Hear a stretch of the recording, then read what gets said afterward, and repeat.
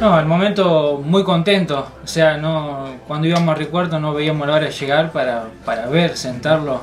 eh, pero muy contento, la verdad que muy, mucha alegría. Y bueno, ahora misión cumplida, misión cumplida, muy contento, muy contento.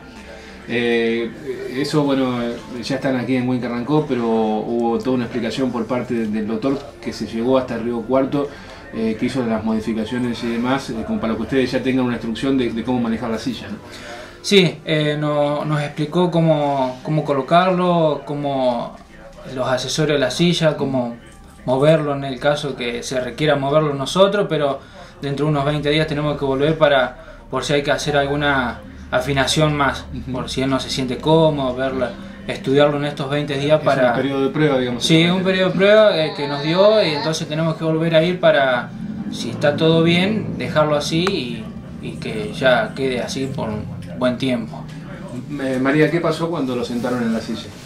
No, él que se quedó que, eh, bien, de- no estaba no molesto, eh, bien, bien, estuvo re bien él.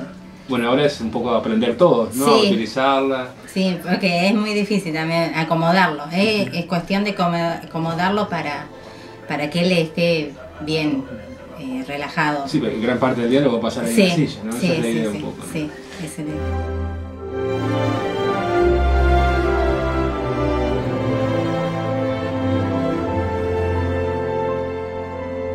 Y agradecerle mil gracias a toda la gente que colaboró, que si no hubiera sido por ello, este sueño no se hubiera podido realizar.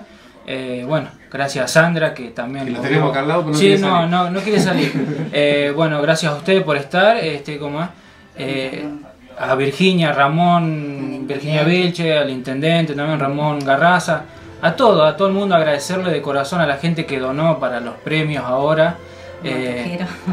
Sí, Los los, los mo- motoqueros. los motoqueros no dejarlo Que la- fuera porque la verdad que dejaron la silla sí, sí nos dejaron que modificarla. modificar la modificar la silla ellos nos permitieron Eh, agradecerles eh, la verdad que muy muy contento ahora y aliviado aliviado aliviado por parte no solamente por él sino por la madre también que va que va a poder ser un poco más Claro, va a tener un poquito libre más. digamos de libertad ella y bueno y él, y él.